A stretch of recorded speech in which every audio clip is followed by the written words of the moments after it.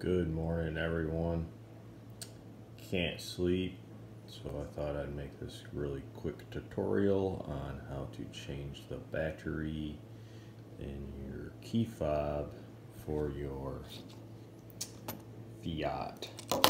And this is the RKE style key, so none of that fancy proximity entry stuff. You gotta actually flip the doodle there over and stick her right in the hole to get the car to start.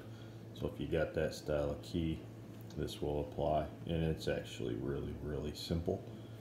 Um, and as you can see here, if you should know about this by now, if you hit that Fiat button, the blade opens and then that will give you some access to this little guy right here. It's not exactly a screw, it's a quarter turn fastener. And what you need to do is you need to rotate that and then the latch will release this door and this door will be able to open. And I believe it is a quarter turn to the right. And yep, you see our door pops open.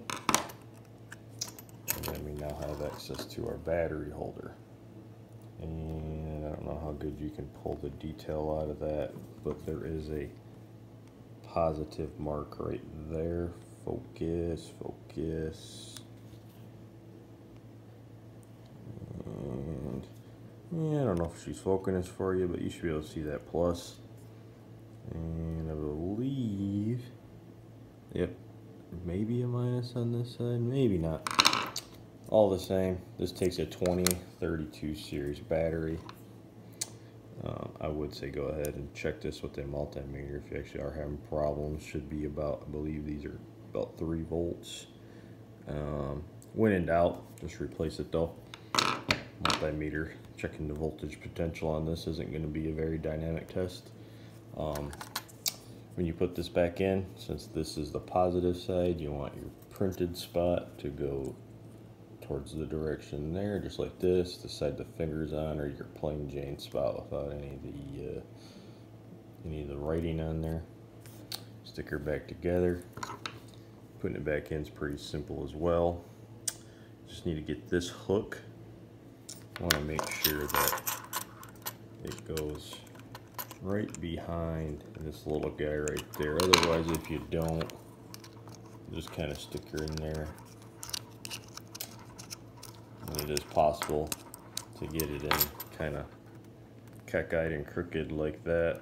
And I do think you can actually lock these down. I, I can't remember.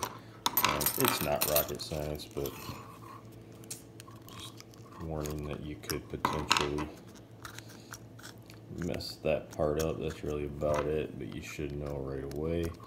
And you can see here my key is nice and flush turn that guy a little quarter turn and boom we are back together.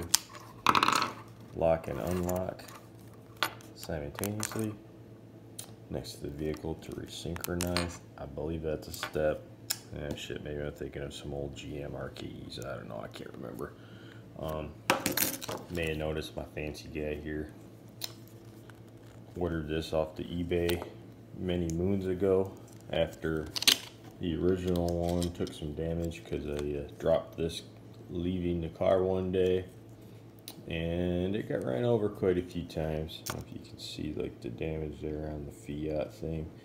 Um, I think I got this for like three bucks shipped straight from China. It's not a perfect fit as you can see, but it does the job and it's a little easier to spot in the morning. Anyways, thanks for watching like I said, pretty simple job here. Have a great day.